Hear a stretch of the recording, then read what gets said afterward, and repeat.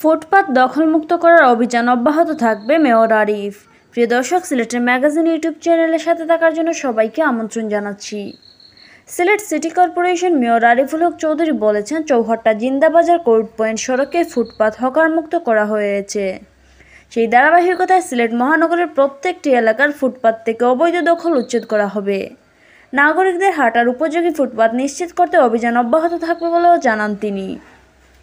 বৃহস্পতিবার দুপুরে সিলেট মহানগরের মদিনা মার্কেট এলাকায় বেআইনিভাবে ফুটপাত ও সরকারি জমি দখল করে গড়ে তোলা ব্যবসা প্রতিষ্ঠান উচ্ছেদ অভিযান শেষে তিনি এসব কথা বলেন।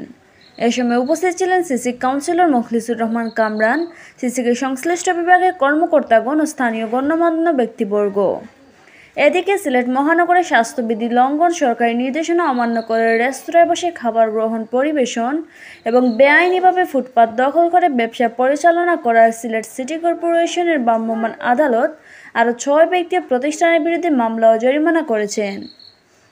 নগরের শেখঘাট, তালতলা, রিকাবি বাজার ও মেডিকেল রোড এলাকায় সিলেট সিটি কর্পোরেশন প্রধান রাজস্ব কর্মকর্তা ও নির্বাহী ম্যাজিস্ট্রেট বিজন কুমার সিংহের ভ্রাম্যমাণ আদালত এই অভিযান পরিচালনা করেন।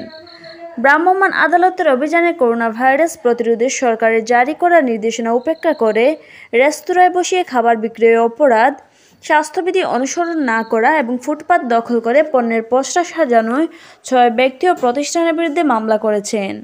তাদের কাছ থেকে জরিমানা নয় হাজার পাঁচশো টাকা আদায় করেন ভ্রাম্যমাণ আদালত। ভ্রাম্যমাণ আদালত পরিচালনার সময় সিলেট সিটি কর্পোরেশনের বিভিন্ন বিভাগের কর্মকর্তা কর্মচারীগণ এবং সিলেট মহানগর পুলিশের একটি দল উপস্থিত ছিলেন।